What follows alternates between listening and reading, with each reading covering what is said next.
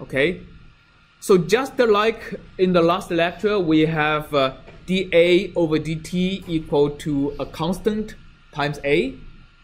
Here we have d vector A and B dt is equal to a constant matrix times the same vector. All right. And uh, for that type of uh, equations, uh, the solution is also exponential. But the exponents are not just the simple numbers. What are the exponents?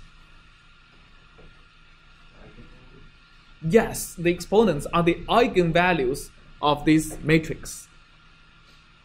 All right, what is the eigenvalue of the matrix? Well, eigenvalue is a linear operator, which means the eigenvalue of a constant multiplied by a matrix is equal to that constant multiplied by the eigenvalue of the matrix. So the eigenvalues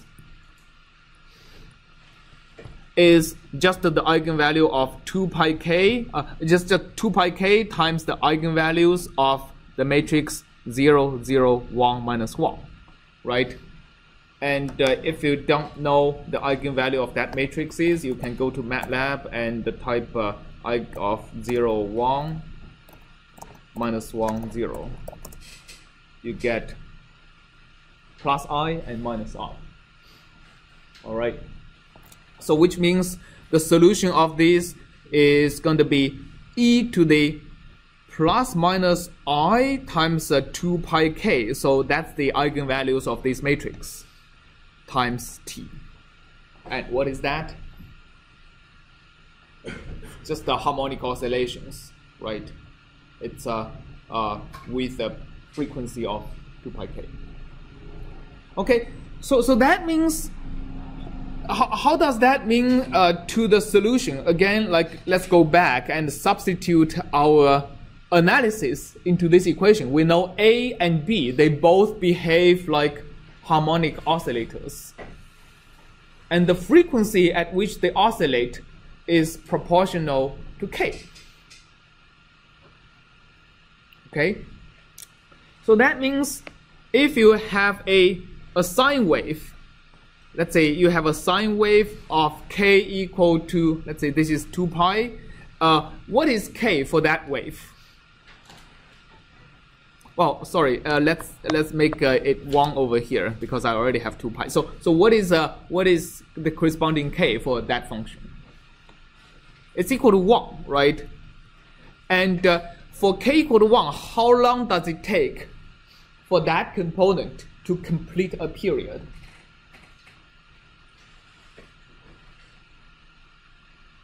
It takes. Uh,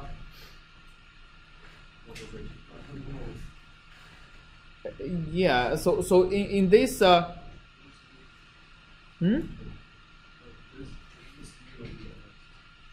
oh i think i missed the u somewhere yeah thank you thank you for that uh, so that's right i think i missed a U here uh, when we do the matching we have to have a u here and a u here right so uh, a is equal to we have a u here we have a u here we have a u here and we have a u inside here. So here we also have a u here and u here. The eigenvalues are 2 pi k u times the eigenvalue of that.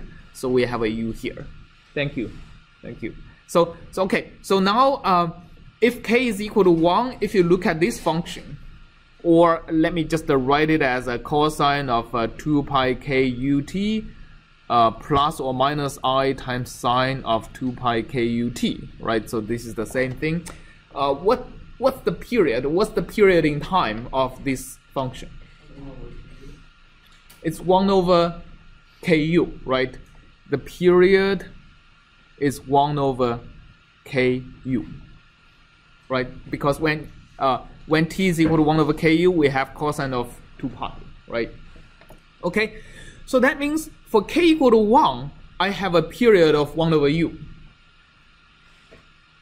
it takes 1 over u for this function to recover itself.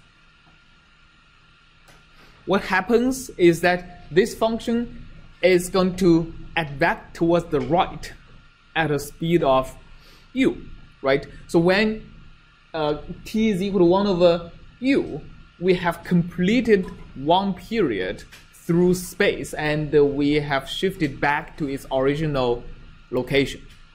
Okay, so when k is equal to 2, for example, if I have a wave like that,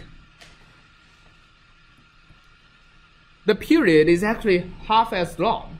And that also makes sense because as I shift towards the right, it takes half that much time to go half the entire domain. And that function only needs to go through half of the domain for it to match itself. Similar things happens for k equal to 3, right? It requires only a third of the time for the function to shift towards the right so that it matches itself. So that's what happens uh, for Fourier analysis to uh, this equation. And uh, it's almost trivial uh, for this uh, analytical solution. And when we go to a numerical solution, we're going to look later, it's not as trivial anymore. We're going to see that the numerical scheme is actually going to distort some of these uh, Fourier components. And it's obvious numerical schemes have to distort the Fourier components because uh, Uh, in any numerical schemes, we have to represent this function on a computer. When we represent this function on a computer, we have to choose a bunch of discrete points. When we choose a set of discrete points, we can no longer represent some of the extremely high frequencies. Right? So when, when we have, a, for example, a thousand points, we cannot represent the functions with k equal to a million very accurately. So we have to miss a lot of the Fourier components and misrepresent many of the components. And uh, the analysis of numerical schemes uh, has a lot to do with analyzing how the numerical scheme is going to distort the components it is not able to represent accurately and what's the consequences of these distortions. Okay, so so remember how we are doing the analysis over here for the analytical PDE and we'll look later into how the analysis is going to carried out for numerical schemes and how uh, what's the difference.